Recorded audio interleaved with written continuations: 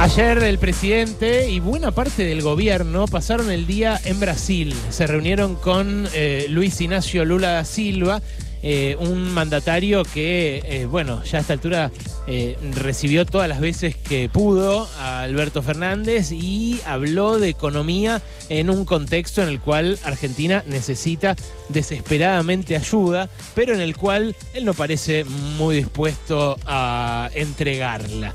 Digo que no parece muy dispuesto porque eh, tanto Alberto Fernández como Sergio Massa, como Gabriela Cerruti, como Julio Vitovelo, como Leonardo Malcour, como todos los demás funcionarios que fueron a Brasil, que fueron un montón, se volvieron ayer mismo con las manos vacías.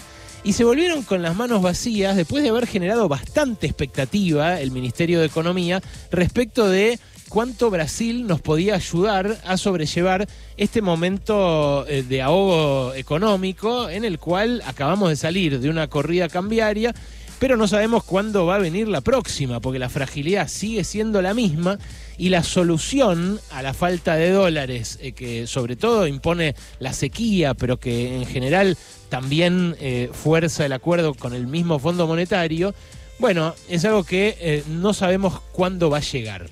Ayer se dio eh, una eh, situación eh, en la cual Lula habló en su discurso respecto de cómo se volvía Alberto Fernández.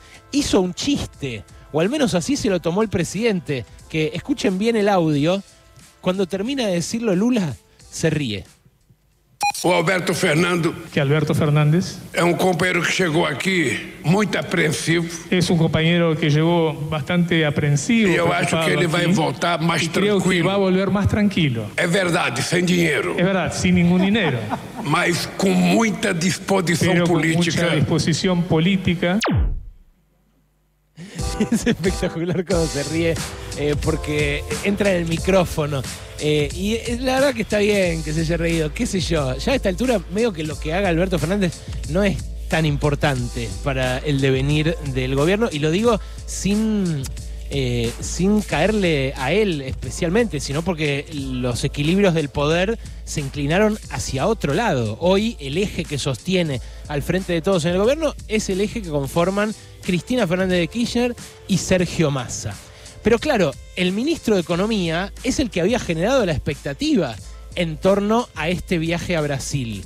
El primero de mayo, el feriado, eh, difundieron desde el Palacio de Hacienda declaraciones de un funcionario brasileño, de Gabriel Galípolo, eh, que, eh, bueno, según el Ministerio de Economía, estaba habilitando la posibilidad de que apareciera ese financiamiento a través de un mecanismo que, bueno, sería en beneficio de Brasil también, que es un financiamiento de las importaciones de bienes argentinos por parte de empresas brasileñas eh, que, bueno, eh, en definitiva, eh, alimentan un comercio bilateral que es beneficioso de las dos maneras. A la Argentina le interesa que se financien las importaciones de bienes brasileños por parte de Argentina porque se quedó sin dólares el Banco Central y encima, además de habernos quedado sin dólares, el déficit de la balanza comercial bilateral eh, es bastante más grande este año que el año pasado. En el primer cuatrimestre, entre enero y abril, eh, hubo una balanza comercial deficitaria para nosotros en casi 1.800 millones de dólares, mientras que en 2022, todo el año, los 12 meses, el déficit fue de 2.200 millones. Eso te da una idea, si vamos cuatro meses, 1.800 y el año pasado en todo el año fueron 2.200, quiere decir que este año va a ser mayor el déficit. ¿Tenemos dólares con, con, los cuales pagarlo? Y no, está complicado.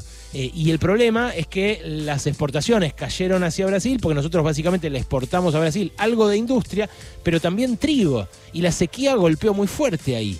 Entonces, lo que había dicho el Ministerio de Economía es que el BNDS, el Banco de Desarrollo brasileño, iba a ampliar el financiamiento a empresas brasileñas que vendieran acá en la Argentina, cosa que ya hace para que ellos nos vendan más, para que los industriales brasileños nos vendan más a nosotros, y después a través de un mecanismo de compensación de monedas, ayudar a financiar también las compras de bienes eh, brasileños por parte de Argentina sin pasar por el dólar. Esto es más o menos lo que eh, buscaron eh, agilizar con el desembolso de la cuarta cuota del swap con China para financiar justamente las compras de bienes chinos por parte de Argentina. Y son eh, conejos de la galera que va sacando el gobierno y sobre todo el equipo económico para tratar de evitar devaluar antes de las pasos, antes de las elecciones, a pesar de la presión muy fuerte que está ejerciendo el mercado, que sabe que faltan 20 mil millones de dólares este año eh, para cerrar las cuentas por la sequía. Bueno, esta alternativa había sido mencionada cuando Lula visitó la Argentina el 2 de enero después de asumir, pero en ese momento habían ido más allá, habían hablado de la creación de una moneda común entre Argentina y Brasil. Esta moneda común, que obviamente eh, es un, algo que tardaría mucho tiempo y que no se puede hacer de la noche a la mañana en un año electoral, era puro humo. Cuando vino Lula terminó diciendo no hay moneda común. Lo dijo Fernando Haddad, su ministro de Hacienda, no hay moneda común, eh, hay un intento de establecer algún mecanismo de compensación. Y lo mismo era humo esto de que iban todos a Brasil y que se iban a volver con las alforjas llenas.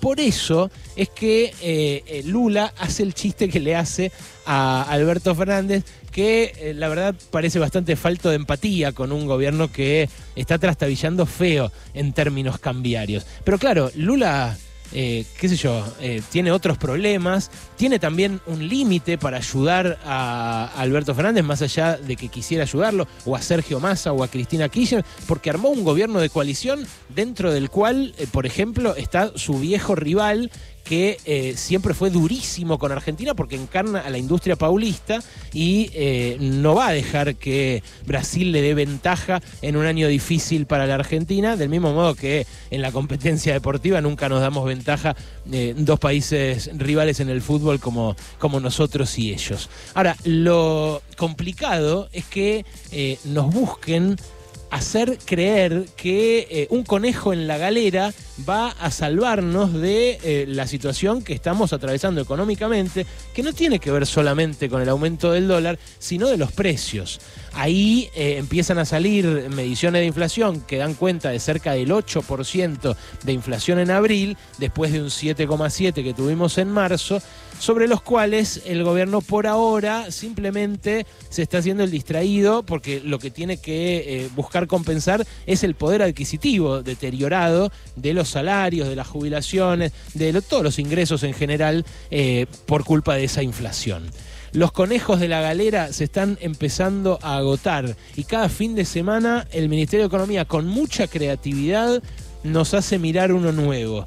El problema es que esos conejos eh, nacen muertos. Y en este caso, al día siguiente quedó claro que mm, no corría por lo menos eh, la expectativa, que la expectativa que se había generado en torno a la posible ayuda brasileña eh, era exagerada respecto de lo que puede hacer Brasil para darnos una mano en este momento tan difícil. Cosas, cosas. Hasta las 16 con Alejandro Berkovich.